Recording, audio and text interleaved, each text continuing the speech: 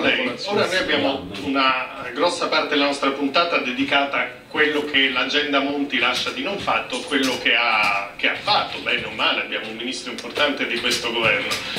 Però secondo lei, quando si dice la reazione dei mercati, la reazione è dal fatto che se ne va Monti o che c'è la possibilità che torni Berlusconi? Ma basta vedere le dichiarazioni oggi del Partito Popolare Europeo, partito a cui appartiene anche il PDL, un giudizio molto critico. Io sono stato due anni a Bruxelles, devo dire era molto imbarazzante, perché loro dicevano, mi identificavano e ci identificavano con Berlusconi.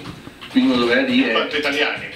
Era un po' imbarazzante, quindi l'immagine a Bruxelles, Berlusconi, Italia era molto forte, quindi questo fatto ha prodotto un danno secondo me gravissimo al nostro E paese. cos'è nel profondo, dal suo punto di vista, ora lo confronteremo con quello di un esponente del, del partito di Silvio Berlusconi, ma cos'è nel profondo che danneggia l'immagine dell'Italia di Silvio Berlusconi dal suo punto di vista? Ma l'aspetto peggiore è stato le vicende prima giudiziarie e poi insomma quelle dal giudiziario sono diventate anche patologia psichiatrica. Ah, però, Spino, se mi è l'aspetto intervista- che Era imbarazzante, era imbarazzante poter Eh, dimostrare che gli italiani non erano così ed era imbarazzante per chi ha sempre apprezzato Berlusconi. Arrivavi là e dovevi dimostrare